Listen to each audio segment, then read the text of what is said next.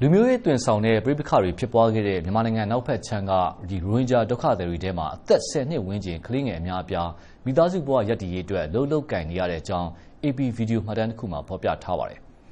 Uh, the situations of forced labor, for example, which one is include child, worse from child labor as well. Getting ပြည် worse. ပခါတွေဖြစ်ပွားရနေရာတွေမှာ အတင်းအဓမ္မလှုပ်ကြမ်းခိုင်းစေမှုတွေအထူးသဖြင့်တော့ဒီအသက်မပြည့်သေးတဲ့ကလေးငယ်တွေအလှုပ်ကြမ်းတွေလှုပ်ရတဲ့အခြေအနေတွေဟာပိုပြီးတော့ဆိုးဝါးလာတတ်တာကိုသတိထားမိတဲ့အကြောင်း ILO နိုင်ငံတကာအလုပ်သမားအဖွဲ့ချုပ်ရဲ့ဒုတိယဆက်သွယ်ရေးအရာရှိ Pierre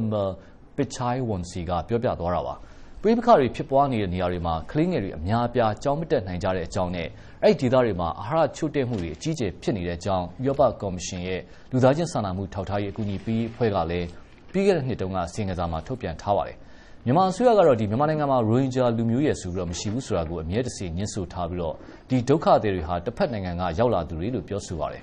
ရခိုင်ပြည်နယ်အတွင်းမှာဒီပြီးခဲ့တဲ့နှစ်မေလနောက်ပိုင်းဖြစ်ခဲ့တဲ့ဒေသခံရခိုင်လူမျိုးတွေနဲ့ရိုဟင်ဂျာတွေကြားပြည်ပခါတွေကြောင့်လူ190ထက်မနည်းသေဆုံးခဲ့ရပြီးတော့လူ3သိန်း4000လောက်အိုးမဲ့အိမ်မဲ့ဖြစ်ခဲ့အရစ္စလမ်ပါဘာတယ်သာဝင်တွေရဲ့အထွတ်အမြတ်မဂါဟတ်ဖျားဘူးရာသီစတင်ပြီးမို့တန်းနဲ့ချီတဲ့မွတ်စလင်တွေဟာဆော်ဒီအာရေဗျရဲ့အာရာဖတ်ကုန်းတော်မှာဝတ်ပြုဆုတောင်းနေကြပါတယ်။ အစ္စလမ်ပြက်ကလေးရဲ့နောက်ဆုံးလဘာသာရေးဆိုင်ရာတတ်မှတ်ရက်အတွင်းဟတ်ဖျားဘူးအဖြစ်နဲ့မွတ်စလင်2တန်းလောက်လာရောက်ကြတဲ့အကြောင်းဆော်ဒီအာရေဗျအာဏာပိုင်တွေကပြောပါတယ်။ဖျားဘူးတမန်တော်မိုဟာမက်မွေးဖွားရာမဂါကနေပြီးတော့နောက်ဆုံးတရားတော်ဟောကြားခဲ့ရာအာရာဖတ်ကုန်းတော်အထိတွားရောက်ပြီးတော့ဝတ်ပြုဆုတောင်းကြပါတယ်။မနေ့တုန်းကဘာသာရေးအခမ်းအနားတွေဟာ Hajj ဖျားဘူးအစီအစဉ်ရဲ့အရေးအကြီးဆုံးအစိတ်အပိုင်းဝတ်ပြုဆုတောင်းပွဲတွေကျင်းပတဲ့နေ့လည်းဖြစ်ပါတယ်။ ဖျားဘူးအစီအစဉ်အရမက္ကာအနီးမီနာအရက်မှာမကောင်းဆိုးဝါးအထိမ့်မဲ့ကြောက်တိုင်ကိုခဲနဲ့စတိပစ်ပေါက်တဲ့အခမ်းအနားလည်းကျင်းပပါတယ်ရှင်။အစ္စလမ်ဘာသာဝင်ဖျားဖူးတို့ဟာသူတို့အဖို့အမြင့်မြတ်ဆုံးဖြစ်တဲ့ကာအာဘာကိုကြည်ညိုပြီးတဲ့နောက်ဥတီကြတဲ့တောင်ကုန်းတစ်ခုကတော့ဟိုးလွန်ခဲ့သောနှစ်ပေါင်း1400ခန့်ကတမန်တော်မူဟာမက်အနေနဲ့မွတ်စလင်တွေစီးလုံးညီညွတ်ကြဖို့ဆော်ဩခဲ့တဲ့နေရာပဲဖြစ်ပါတယ်။ ဒါပေမဲ့ဒီကနေ့မှာတော့အစီအလယ်ပိုင်းဒေသတချို့မှာမွတ်စလင်တွေဟာပဋိပက္ခတွေနဲ့ကြုံတွေ့ရင်ဆိုင်နေရပါတယ်။ဆီးရီးယားနိုင်ငံကလာရောက်တဲ့ဖျားဖူးတူက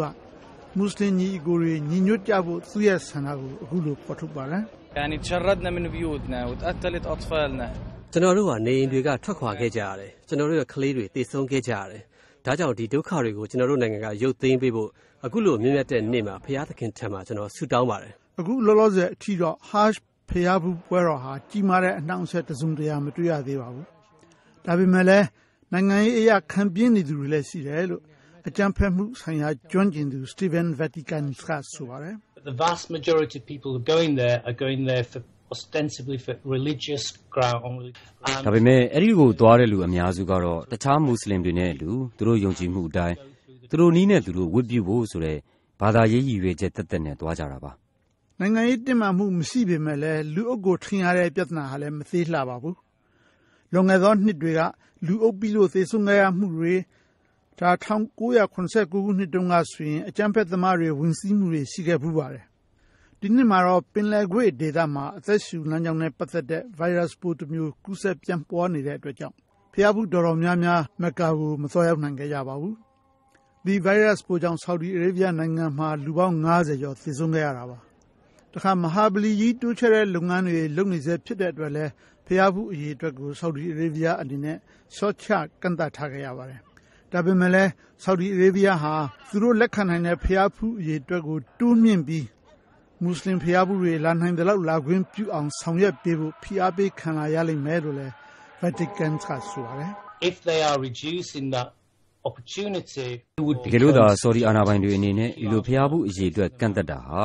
ကျမ်းမာရေးနဲ့ လုံခြုံရေးအရမဟုတ်ဘဲ နိုင်ငံရေးအရ ကန့်သက်တာဆိုရင်တော့ မွတ်စလင် လူအတိုင်းအဝိုင်းတွေ မွတ်စလင်နိုင်ငံတွေရဲ့ ဝေဖန်မှုကို အကြီးအကျယ် ခံရမှာဖြစ်ပါတယ် Hash ဖို့ပြုပွဲတော်ဟာ Eid al-Adha အလ္လာဟ်ရဲ့နဲ့ အဆုံးသတ်မှာဖြစ်ပြီး ကမ္ဘာတစ်လွှားက မွတ်စလင်တွေ အစားအသောက်တွေနဲ့ အလှူဒါနပြုကြတဲ့ ပွဲတော်လေးဖြစ်ပါတယ်ခင်ဗျာ။